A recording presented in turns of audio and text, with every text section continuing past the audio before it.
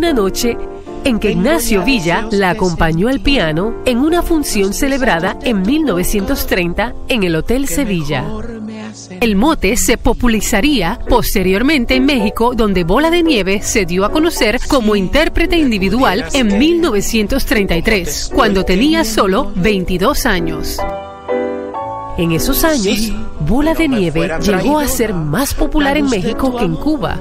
La composición más famosa de Bola de Nieve, el bolero Si me pudieras querer, la estrenó Rita Montaner el 4 de marzo de 1936, en lo que sería la inauguración del Teatro Alcázar, que había sido antes el famoso Teatro Alhambra.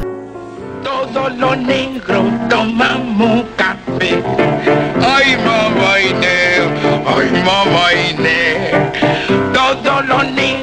tomavam boca.